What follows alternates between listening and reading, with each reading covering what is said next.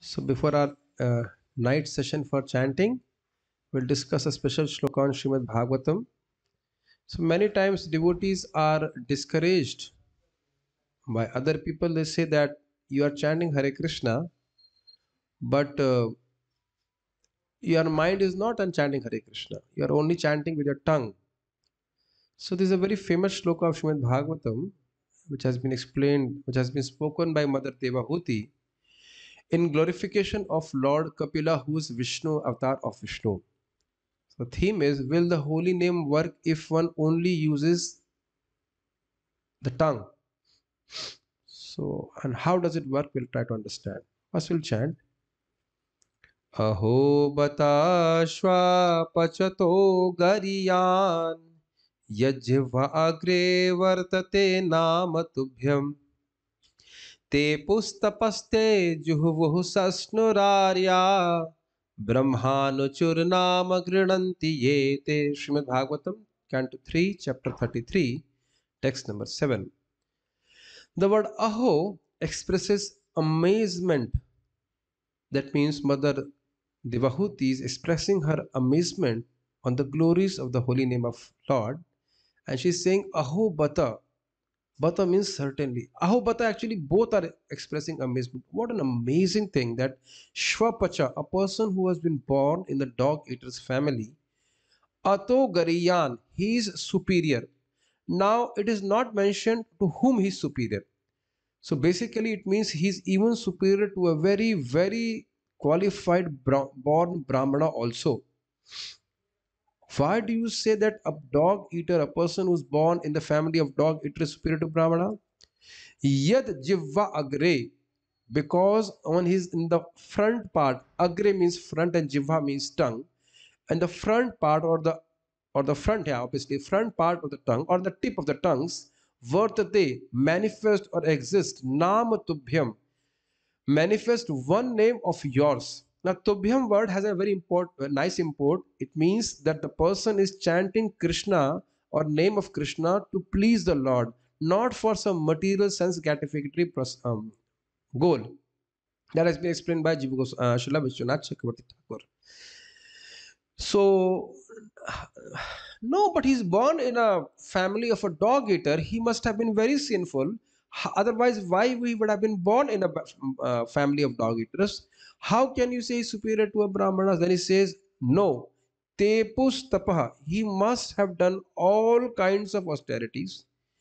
Te means those people. Juhvu. They have, must have done all kinds of sacrifices. Sasnur. They must have taken bath, bath in holy bath in all holy rivers. Arya. Whatever is needed of for, for purifying a person who is deemed to be an Arya, a, a, a okay, say a cultured person as per Vedic standards, he's called Arya. So whatever he needs to do, he must have done. Brahmanuchur. Brahma means the Vedas and Anuchu means to recite the Vedas. So he has recited the Vedas several times over.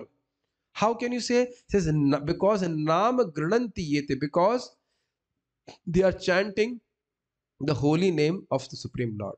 So this is the extreme wonderful potency of chanting Hare Krishna simply by the tongue.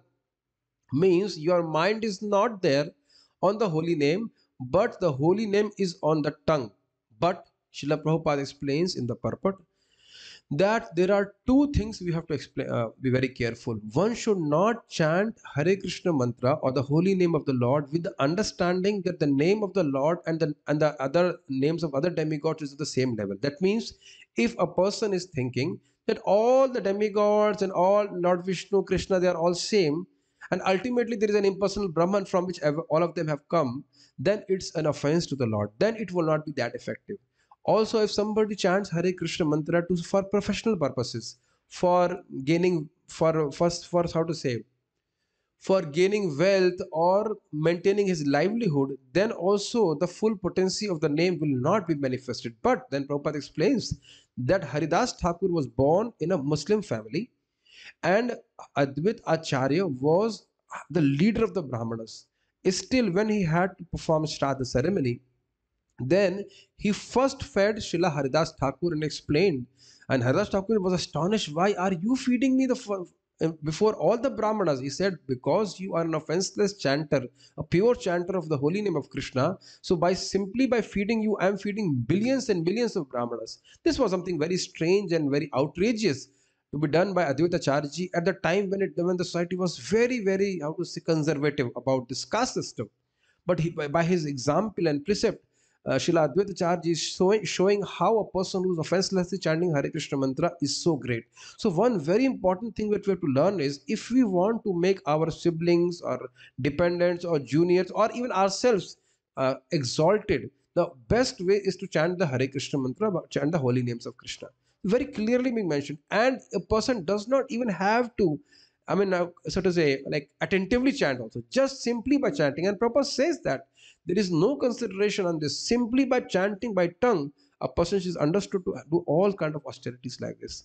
So, not understanding the glories of the holy name, people take it cheaply, and when a devotee is chanting by his tongue, they tend to discourage him. Srila Prabhupada gives another example in this purport. He says that if a person is, is actually a judge he is appointed as a judge, then naturally it's understood that he has studied law or the lower stages of law. Similarly, a person who is chanting Hare Krishna mantra, it is understood that he has performed all other austerities in previous lifetimes. He does not have to do other austerities. So another application is that if a person is chanting Hare Krishna mantra, he will be one number fool if he thinks that he has to do other austerities apart from chanting Hare Krishna mantra. So you can see all austerities, all the things will make us perfect is included in chanting of Hare Krishna mantra, which is very, very clearly expounded in this shloka of Srimad Bhagavatam. So even, and that happens only by chanting with tongue. And that's why when we chant by our tongue, firstly we should chant by our tongue and chant very clearly Hare Krishna, Hare Krishna, Krishna Krishna, Hare Hare, Hare Rama, Hare Rama, Rama Rama, Hare Hare. This is a very utmost important that we pronounce, we enunciate the mantra very clearly not in a Prabhupada says in one of the purport, people make a hissing sound by their tongue and while chanting Hare Krishna mantra, and that's an offense. One should use his tongue, one should use his lips and his throat to enunciate or pronounce the mantra, each and every syllable very clearly. Each and every name is a deity, is form of Supreme Lord Himself, and has to be worshipped very sincerely. So if you are become a sincere chanter, whatever insufficiency or inadequacy we feel in our life will become completely covered by chanting Hare Krishna mantra. So, okay, so we'll chant Hare Krishna now. Thank you. Shri Harinam Prabhu ki jai, Shri Prabhupada ki jai, Tai Gaur Primanande.